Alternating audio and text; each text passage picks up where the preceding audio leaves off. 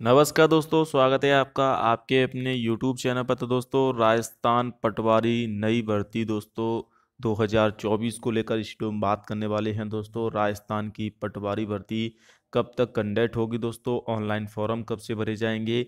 Exam date और बिना सीटी के ये भर्ती कंडक्ट होगी, यानी कि डायरेक्ट भर्ती रहेगी।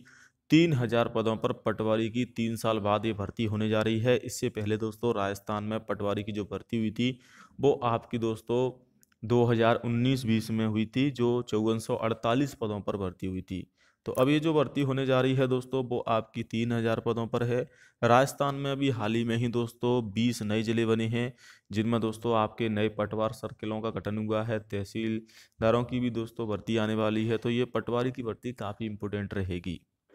तो दोस्तों, ये पटवारी की जो भर्ती है, उसमें आपको क्वालिफिकेशन क्या देखने को मिलेंगी, कब से फॉर्म शुरू होने जा रहे हैं दोस्तों? आचार संहिता से पहले इस भर्ती के फॉर्म भरवाए जाएँगे। आचार संहिता इसी महीने में लागू होने की संभावना है दोस्तों, क्योंकि चुनाव हैं। तो यहाँ पर आप देख सकते हैं, नौ महीने से अटकी है राजस्व मंडल ने अगस्त में भेजी थी अभ्यर्थना, अगस्त दो हज़ार तेईस में अभ्यर्थना भेजी गई थी राजस्व मंडल के द्वारा, लेकिन अक्टूबर में चुनाव आचार संहिता लगने के बावजूद इसका मामला आगे नहीं बढ़ा। इस साल जनवरी में भी वित्त विभाग से भर्ती आने के कारण वित्तीय भार की गणना की कार्रवाई शुरू कर दी है अब राजस्व मंडल इसी सप्ताह में दोस्तों इसका नोटिफिकेशन जारी कर सकता है। नई भर्ती के बाद दोस्तों यहाँ पर जो खर्च और बढ़ेगा क्योंकि इसके लिए वित्त विभाग को और यहाँ पर दोस्तों बजट पास करना होगा। पटवारियों का सालाना चार सौ चौंसठ करोड़ रुपए प्रतिवर्ष पटवारियों पर खर्च होते हैं। यानी कि उनकी जो दोस्तों यहाँ पर सैलरी वगैरह होती है, जो भी खर्च है, उसको यहाँ पर और बार बढ़ जाएगा। तो राजस्व मंडल ने पटवारी के तीन हज़ार नए पदों पर भर्ती की मांगी है अनुमति। राजस्व मंडल जो राजस्व विभाग है दोस्तों, उसके, उसी को राजस्व मंडल कहते हैं। उसी के द्वारा दोस्तों इस भर्ती की मंजूरी दी जाएगी राज्य सरकार के द्वारा। इसके बाद राजस्व मंडल राजस्थान कर्मचारी चयन बोर्ड, जो R S M S S B board है, उसको दोस्तों यहाँ पर अभ्यर्थना भेजेगा। उसके बाद अभ्यर्थना आने के बाद राजस्थान कर्मचारी चयन बोर्ड इसकी नोटिफिकेशन या फिर फॉर्म की प्रक्रिया शुरू करेगा। अब दोस्तों, इसमें कुछ क्वालिफिकेशन रहती हैं, जैसे कि आपकी ग्रेजुएशन पास ही विद्यार्थी आवेदन कर सकते हैं plus R C R T होना ज़रूरी है।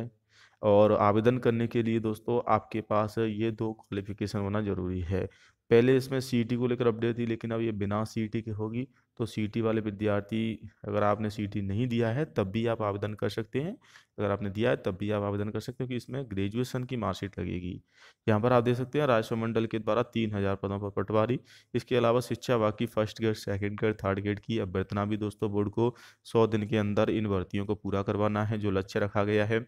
और नई सरकार में दोस्तों भर्ती पहली बार होने जा रही है पटवारी की। इससे पहले कांग्रेस की सरकार ने 2019-20 में ये भर्ती करवाई थी। सिलेबस के बारे में बात करें तो सिर्फ़ राजस्थान की जोग्राफी हिस्ट्री कल्चर यानी कि जो राजस्थान का सिलेबस है, तीस परसेंट साठ अंक आते हैं, उसी में चेंजेस होगा, बाकी कोई भी चेंजेस नहीं है। हालाँकि इसमें पैटर्न में बदलाव होगा, जैसे कि पाँचवा विकल्प आपको देखने को मिलेगा और फेस रिकेक्सेशन होगा, बायोमेट्रिक होगा, काफ़ी सारे नए बदलाव होंगे फॉर्म से लेकर। आपके दोस्तों एग्ज़ाम तक। तो ये है, कुछ बदलाव होने जा रहे हैं दोस्तों। आपको सभी डिटेलें एस एस के माध्यम से ही फिल करनी होंगी। आवेदन पंद्रह मार्च के आसपास शुरू होने की उम्मीद है। आचार संहिता से पहले पहले फॉर्म भरे जाएँगे दोस्तों, क्योंकि अगर आचार संहिता लागू हो जाती है तो उसके बाद ये भर्ती नहीं आएगी। तो इस चीज़ का आपको ध्यान रखना है। पटवारी की आप कंटिन्यूस तैयारी करते रहें। लेटेस्ट अपडेट के लिए आप चैनल को सब्सक्राइब कर लें। जय हिंद बंदे मातरम।